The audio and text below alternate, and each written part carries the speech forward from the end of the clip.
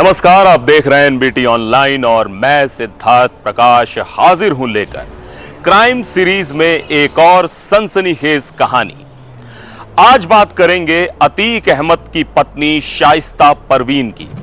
कैसे एक पुलिस वाले की बेटी संभालने लगी माफिया का गैंग और बन गई मोस्ट वांटेड। शाइस्ता असल में पश्तो का शब्द है, जिसका मतलब होता है सुंदरता। अब इसे किस्मत कहिए या ज़िंदगी या परिस्थितियाँ।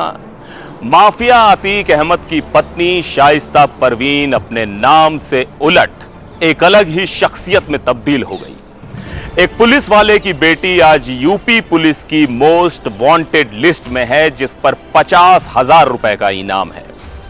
अतीक की मौत के बाद उसका परिवार बिखर चुका है और शाइस्ता फ़िलहाल पुलिस की पहुँच से बहुत दूर है। शाइस्ता परवीन में यह बदलाव रातों रात ही नहीं आ गया। ज़िंदगी के 50 बरस पूरे कर चुकी शाइस्ता ही पति अतीक अहमद और देवर खालिद अजीम उर्फ़ अशरफ के जेल जाने के बाद सारे मामलों की डीलिंग करती थी। प्रयागराज के ही एक कॉलेज से पढ़ाई पूरी करने वाली शाइस्ता की शादी साल उन्नीस सौ छियानवे में अतीक अहमद के संग हुई थी। शुरू में खुद को घर की चार दीवारी के भीतर तक ही सीमित रखने वाली शाइस्ता परिवार के आपराधिक माहौल से कब तक अछूती रहती? शादी के समय तक अतीक विधायक चुना जा चुका था और खुद को जुर्म की दुनिया के बाद राजनीति में स्थापित कर चुका था। अतीक और शाइस्ता के पाँच बेटे हैं, जिनमें से तीसरे नंबर के लड़के असद को पुलिस और एसटीएफ ने झांसी में एनकाउंटर में मार गिराया था। इसके दो दिन बाद ही प्रयागराज के कॉलविन हॉस्पिटल के बाहर पुलिस कस्टडी में अतीक और अशरफ की ताबड़तोड़ गोलियाँ मारकर हत्या कर दी गई। अभी दो बड़े बेटे उमर और अली जेल में हैं, जबकि दो छोटे बेटे अभी नाबालिग हैं। अब रिटायर हो चुके पुलिस कांस्टेबल मोहम्मद हारून की बेटी शाइस्ता परवीन प्रयागराज के दामूपुर गाँव में परिवार के साथ रहा करती थी।